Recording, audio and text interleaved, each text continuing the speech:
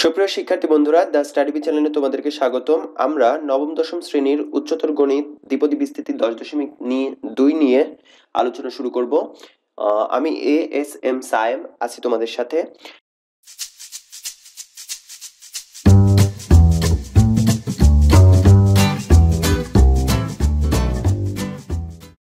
দশ দশমিক এক এ আমরা অনেকগুলো বিষয় নিয়ে আলোচনা করেছিলাম, যেগুলো almost related to ten point two অর্থাৎ দশ দশমিক দুইয়ের সাথেও রিলেটেড সো এগুলো একটু দেখার আগে, দশ দশমিক দুই এর সিরিজটা দেখার আগে দশ দশমিক একের সিরিজগুলো একটু দেখে আসবে। তাতে করে সহজ হয়ে যাবে অলমোস্ট অনেক কিছু, অনেকগুলো বিষয় আগে থেকে জানা থাকবে। তো, সেটা নিয়ে আমরা একটু আলোচনা করব। এ পর্যায়ে দশ দশমিক দুই এর কিছু বেসিক জিনিসগুলো একটু জেনে নিই। যেমন হচ্ছে, আমরা এনসিআর বলে থাকি। তো এনসিআর এখানে এখানে এই যে সিটা আছে, তাহলে এই সি বলতে কি বোঝায়? সো এন সি আর তো এখানে সি বলতে বোঝায় হচ্ছে কম্বিনেশন অফ তো এন সি আর এটাকে আমরা পড়ব এভাবে এন কম্বিনেশন অফ আর তো এন কম্বিনেশন অফ আর এটার মিনিংটা কি, কীভাবে আসে এবং এটার সূত্রগুলো আমরা একটু দেখাবো। তার আগে আরেকটা জিনিস আমরা একটু দেখে নিই, একটা চিহ্ন, যেটা আমরা বাংলায় বলে থাকি এই চিহ্নটাকে বিস্ময় সূচক চিহ্ন। ইংরেজিতে এই চিহ্নটাকে আমরা বলে থাকি এক্সক্লেমেটরি সাইন বা ম্যাথমেটিক্সের ভাষায়, অর্থাৎ ম্যাথমেটিক্সে এটাকে বলা হয়ে থাকে ফ্যাক্টোরিয়াল সাইন তো এই ফ্যাক্টোরিয়াল সাইন সম্পর্কেও আমরা একটু জেনে নেব। ফ্যাক্টোরিয়াল সাইনটা মানটা কীভাবে আমরা বের করি।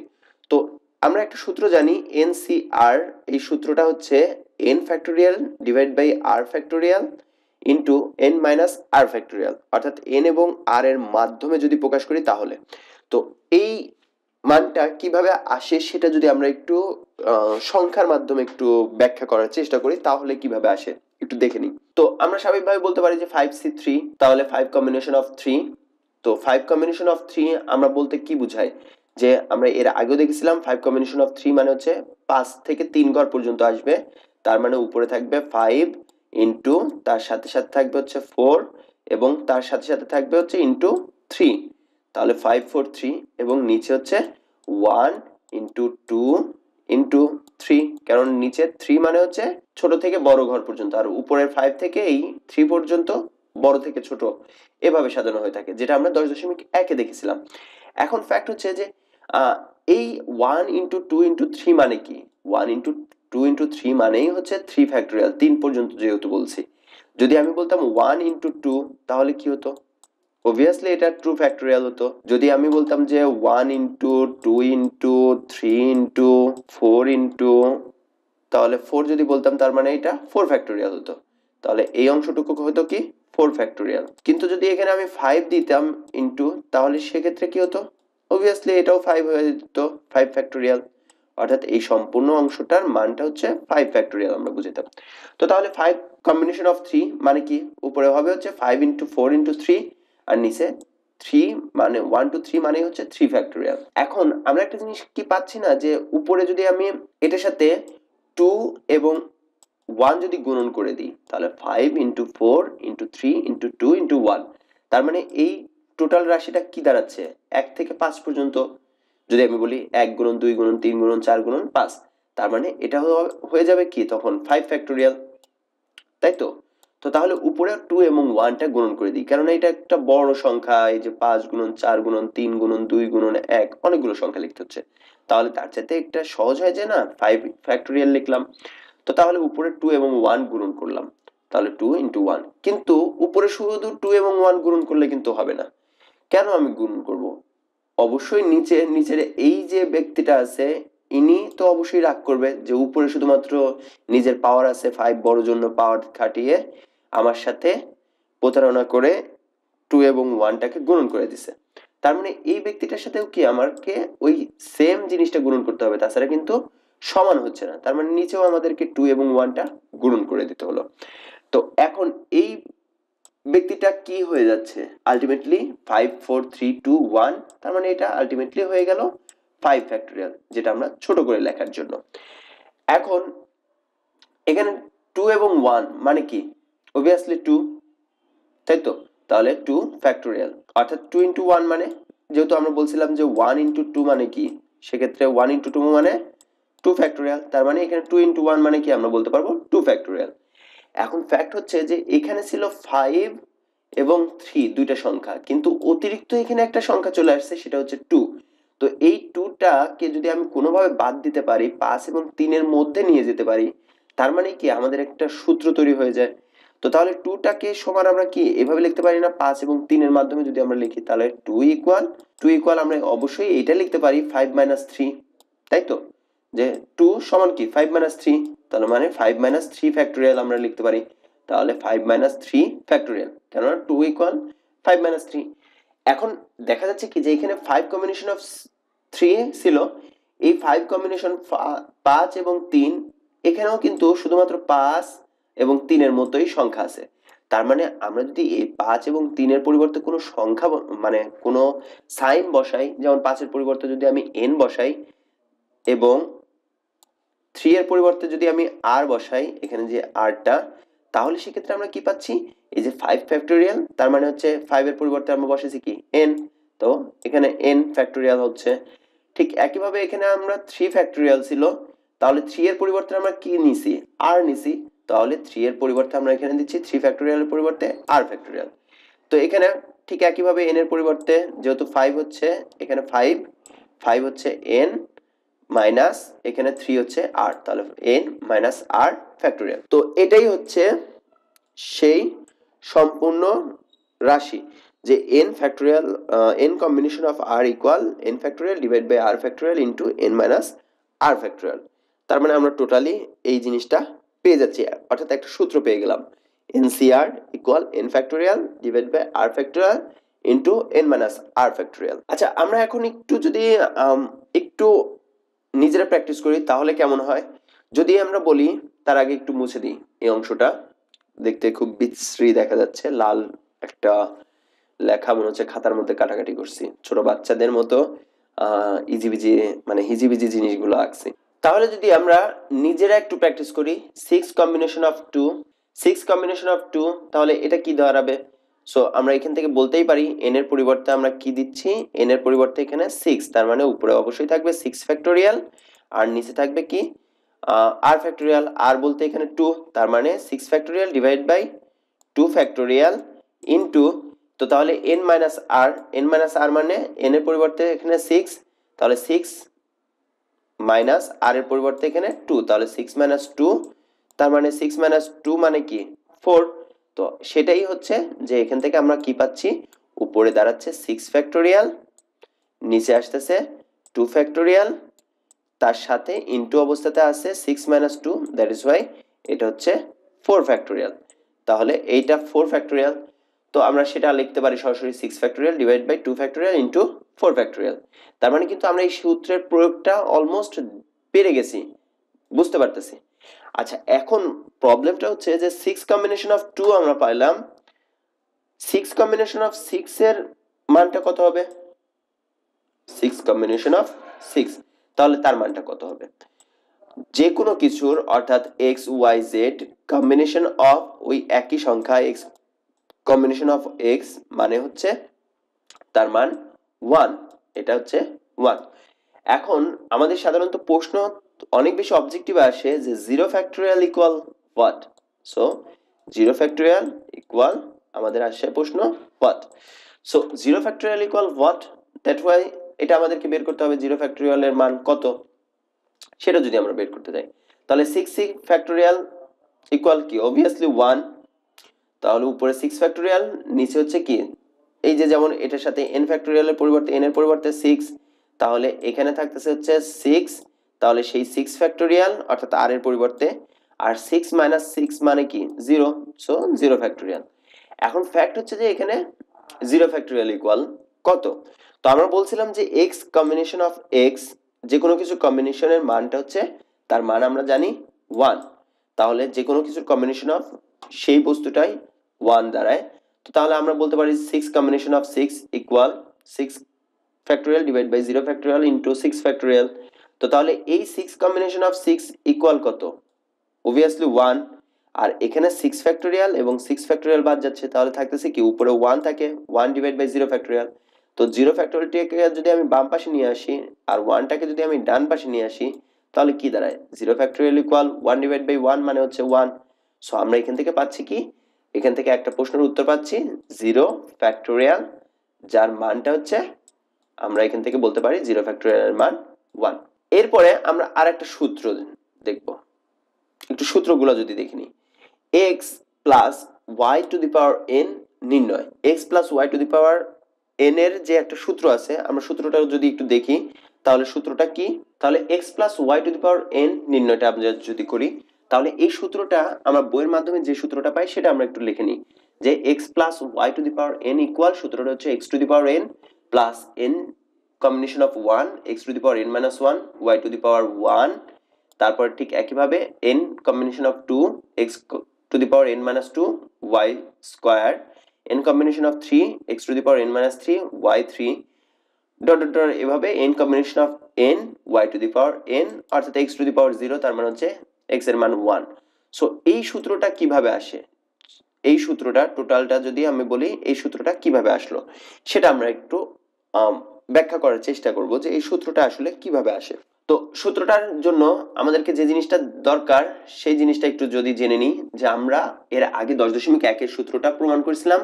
One plus Y to the power N equal one plus N combination of one Y to the power one n combination of 2 y to the power 2 n combination of 3 y to the power 3 plus dot dot dot এভাবে N combination of n into y to the power n এই পর্যন্ত কিন্তু আমরা পেয়েছিলাম। সেটা কোথায় পেয়েছিলাম? অর্থাৎ দশ দশমিক একে এখন দশ দশমিক দুইয়ের ক্ষেত্রে আমাদের এখানে আর ওয়ানটা প্রয়োজন পড়তেছে না। এখানে ওয়ানের পরিবর্তে আমাদের বিভিন্ন মান দিচ্ছে। টু দিচ্ছে থ্রি দিচ্ছে ফোর দিচ্ছে। তার মানে কি? এখানে এক্স্যাক্টলি একটা আমরা যদি সংখ্যা বসিয়ে নিই যে X plus Y to the power N equal what so সেই জিনিসটাকে আমাদেরকে ফাইন্ড আউট করতে হবে।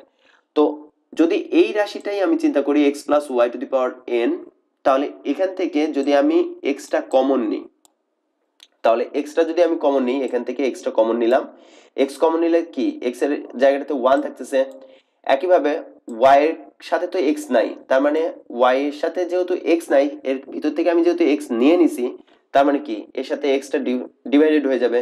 কেননা দেখো, এই এক্সটা যখন ওয়ানের সাথে গুণন হচ্ছে, তখন এক্স এবং ওয়ান গুণন হলে এক্স আর এক্সটা যখন এই ওয়াই এর সাথে গুণন হচ্ছে, তাহলে এই এক্স এবং এখানে সাপোজ ধরো যে এক্স আছে, তাহলে এই গুণন করার পর এই এক্সটা এবং এই নিচের এক্সটা দুইটা কাটা যাচ্ছে, তাহলে থাকতেছে ওয়াই তো আলটিমেটলি কিন্তু এই রাশিটাই আমরা পাচ্ছি। সো দ্যাটস ওয়াই আমরা এখান থেকে এক্সটা কমন নিলাম। এখন তাহলে এক্সটা কমন নিলে one plus Y divide by X to the power N তাহলে এই যে এক্স আছে আলাদা, তার উপরে কি? টোটালটার উপরে পাওয়ার কি? এন না? তাহলে এটাকে যদি আমি সম্পূর্ণরূপে আলাদা করি, তাহলে এক্সের উপরে এনটাকে আমি আলাদাভাবে লিখে দিলাম এক্সের উপরে এন এরপরে তাহলে থাকতেছে কি? One plus Y divide by X তার উপরে কি? অবভিয়াসলি পাওয়ার আছে এন তাহলে তার উপরে পাওয়ার এন কেন এইভাবে নিয়ে আসলাম? এই যে, এই জায়গাটাতে ওয়ান ছিল না, এই ওয়ান এখানেও কিন্তু ওয়ানটাই ছিল। তো এই ওয়ানটাতে নিয়ে আসতে। পরবর্তীতে আমরা এক্স টু দি পাওয়ার এনটা সবার সাথে গুণন করে দেব। গুণন করে দিয়ে তারপর মানটা বের করব। তো এইটার সূত্রটা কিন্তু আমরা আগে দশ দশমিক একের অনুযায়ী কিন্তু আমরা এখন এটার মানটা বের করতে পারব। এটা সূত্র না, এটার মানটা বের করতে পারব। তাই তো? কেননা এখানে ওয়ান আছে ওয়ান থাকলেই তো আমরা সেই জিনিসটা যে কোনো কিছুর মান বের করতে পারব, যেটা দশ দশমিক একে আমরা শিখেছিলাম। তো দশ দশমিক একের ওই নিয়ম অনুযায়ী যদি one plus Y divide by X to the power N হয়, তাহলে কি? তার আগে বাইরে যে জিনিসটা আছে, সেই জিনিসটা কিন্তু আমরা নিয়েই নিলাম। X to the power N X to the power N এখানে রেখে দিয়েছি। তাহলে থার্ড ব্র্যাকেট দিয়ে আমরা এই অংশটুকুর কাজ করতেছি, এই অংশটুকু। একটু ক্লিন করে নিই না। তাহলে আমরা কোনটা পাচ্ছি? যে এই যে one plus Y to the power Y divide by X to the power N তাহলে এই যে আমরা আগের যে সূত্রটা দেখেছিলাম এখানে, এই অনুযায়ী আমরা যদি মানটা বসাই, তাহলে কেমন হয়? তাহলে এখানে ওয়াই এর পরিবর্তে ওয়াই এর পরিবর্তে আমরা এখানে মানটা পাইছি কি? এই যে এখানে। এখানে ওয়াই এর পরিবর্তে Y divide by X so তাহলে এন ওয়ান প্লাস যেহেতু এখানে সূত্রের ওয়ান আছে one plus N combination of one N combination of one Y to the power one আছে, তাহলে ওয়াই এর পরিবর্তে কি? আমাদের ওয়াই এর পরিবর্তে এখানে কিন্তু ওয়াই ডিভাইড বাই এক্স তাহলে Y divide by X to the power one ঠিক একইভাবে N combination of two N combination of two এইখানে ওয়াই এর পরিবর্তে সেম একইভাবে Y divide by X whole square ঠিক একইভাবে এখানে N combination of three so এখানে N combination of three Y এর পরিবর্তে আমরা কি দিচ্ছি? Y divide by X whole cube N combination of N N combination of N Y এর পরিবর্তে এখানে আমরা পাচ্ছি Y divide by X to the power N so ultimately এখানে যদি আমরা এন কম্বিনেশন অফ ওয়ান যে মানটা আমরা জানি, যে one plus N combination of one এটাকে যদি পাওয়ার ওয়ান দিয়ে দিই, তার মানে ওয়াই ডিভাইড বাই এক্স এখানে যদি স্কোয়ার করি, তাহলে Y square divide by X square এখানে যদি কিউব করি, তাহলে Y cube divide by X cube এখানে যদি Y to the power N এবং X to the power N আসতেছে। তো আলটিমেটলি এই পর্যন্ত আমরা পারলাম। এখন এন কম্বিনেশন অফ ওয়ান বলতে কি বোঝায়? আমরা জানি যে যে কোনো কিছু অর্থাৎ এন কম্বিনেশন অফ ওয়ান আচ্ছা তো এখন ফ্যাক্ট হচ্ছে যে এই এক্স টু দি পাওয়ার এনটা কি? আমি টোটালটার সাথে গুণন করে দিতে পারি না? অবশ্যই গুণন করে দিতে পারি। তাহলে গুণন করে দিলে সেক্ষেত্রে কি হয়? X to the power N যদি ওয়ানের সাথে গুণন হয়, এই ওয়ান তাহলে X to the power N হয়। N combination of one Y divide by X into হচ্ছে X to the power N ঠিক একইভাবে এই রাশিটার সাথেও আমরা গুণন করে দিচ্ছি X to the power N এই রাশিটার সাথেও আমরা গুণন করে দিচ্ছি X to the power N এবং আলটিমেটলি ডট ডট ডট দিয়ে N combination of N X to the power এনটা কিন্তু এখানেও গুণন করে দিছি। এই যে এখানে যে গুণন অবস্থাতে ছিল, কেননা ব্যাকেটের বাইরে যেটা গুণন অবস্থাতে ছিল, সেটা তো ব্যাকেটের সম্পূর্ণ সবগুলো মানের সাথেই গুণন হয়ে যাবে, তাই তো? এই সম্পূর্ণ মানের সাথে। সো সেটাই আমরা করেছি। এখন ফ্যাক্ট হচ্ছে যে এই যে X to the power N আছে, এখানে এক্সের উপরে পাওয়ার কত? অবভিয়াসলি পাওয়ার এখানে ওয়ান এখানে এক্সের উপরে পাওয়ার তো টু আছে। এখানে এক্সের উপরে পাওয়ার থ্রি এক্সের উপরে পাওয়ার এন এখন ব্যাপারটা হচ্ছে যে আমি যদি লগারিদমের সূত্র অনুযায়ী বলি, তাহলে এক্স স্কোয়ার ডিভাইড বাই যদি আমি বলি one divide by x cube বা এক্স সি বললাম ওয়ান ডিভাইড বাই এক্স তাহলে আলটিমেটলি লগারিদমের নিয়ম অনুযায়ী এক্স টু দি পাওয়ার কি? টু এখানে পাওয়ার টু মাইনাস এখানে যেহেতু ডিভাইডেড আছে, তাহলে এক্সের উপর পাওয়ার হচ্ছে ওয়ান তাহলে two minus one ultimately so two minus one মানে হচ্ছে এক্স এটাই তো আসে। তো এখন এখানে x to the power n আছে, নিচে আছে ওয়ান তার মানে কি? নিচের পাওয়ারটা এই যে এন এর সাথে পাওয়ারটা লগারিদমের সূত্র অনুযায়ী জেনারেল মানে জানি যে এন থেকে ওয়ান বিয়োগ হবে। তো তাহলে সেই জিনিসটাই আমরা করব যে x to the power n n combination of one x to the power n minus one y ঠিক একইভাবে এখানে টু আছে, তার মানে এন এর সাথে টু বিয়োগ হবে এন মাইনাস টু এখানে থ্রি আছে যেহেতু নিচে, তার মানে এন থেকে থ্রি বিয়োগ হবে, তাহলে এন মাইনাস থ্রি আর এখানে এক্স এন এবং এখানকার এক্স এন বাদ যাচ্ছে, তার মানে n combination of n y to the power n ultimately এটাই কিন্তু এই সূত্রটা তৈরি হয়ে গেছে যে x plus y to the power n equal x to the power n plus n combination of one x to the power n minus one into y n combination of 2 x to the power n minus 2 y square n combination of 3 x to the power n minus 3 y 3 এবং n combination of n y to the power n I think আমি বোঝানোর চেষ্টা করছি। যদি বুঝতে সমস্যা হয়, তাহলে অবশ্যই কমেন্টস বক্সে কমেন্টস করবে, অথবা আমার ফেসবুক গ্রুপে বা ফেসবুক পেজে যে কোনো প্রশ্ন করতে পারো, আমি ইনশাআল্লাহ সময় করে উত্তরটা দেওয়ার চেষ্টা করব। তো এরপরে আমরা আরেকটা সূত্র নিয়ে একটু আলোচনা করি। আরেকটু সূত্র, যদি সূত্রের ব্যাখ্যাতে যাই, এরপরে আমরা ম্যাথে চলে যাব। এন আর বলতে কি বোঝায়? So n combination of r মানে কি? এনসিআর সো এটা থেকে আমরা পাইছিলাম কি n combination n factorial divide by r factorial into n minus r factorial তো, এই জিনিসটা যেহেতু আমরা জানি, তাহলে x plus y to the power n যদি আমি ওইভাবে এই সূত্রগুলোর মাধ্যমে আমি প্রকাশ করতে চাই, তাহলে কীভাবে আবার ব্যাখ্যা করতে পারব? অর্থাৎ এই এক্স টু দি পাওয়ার এনটা আর একটা কীভাবে আমরা নির্ণয় করতে পারি, সেই জিনিসটা আমরা একটু দেখে নেব।